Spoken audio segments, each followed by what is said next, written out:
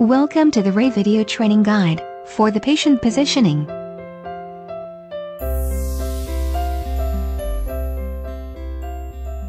Please execute SMARTDent and register the patient information. Click New button. And then, enter chart number, name, birthday, gender of the patient. Then, click OK to complete patient registration. Click the Set Acquisition button.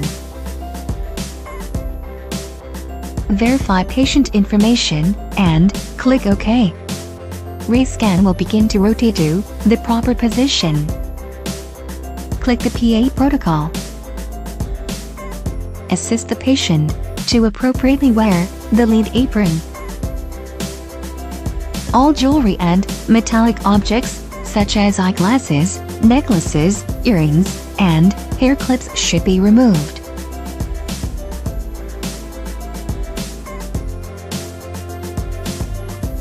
Turn the ear rods to the PA position, and turn up the nasion positioner.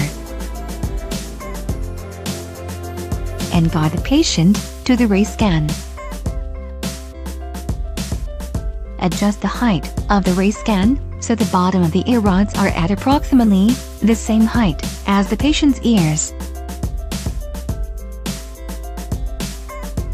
Slide the ear rods so that the cones are gently touching the outer ear canal. Adjust the nasion positioner down and slide it towards the patient.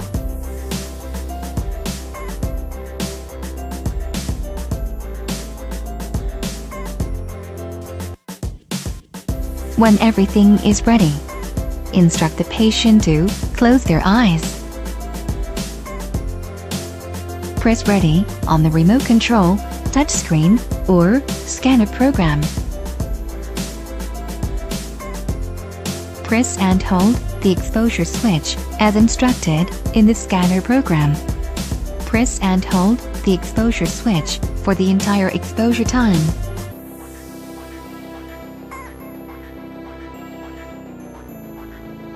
After the image acquisition, make any desired optimal image by adjusting the sharpen or gamma value. Click the confirm button to save the image.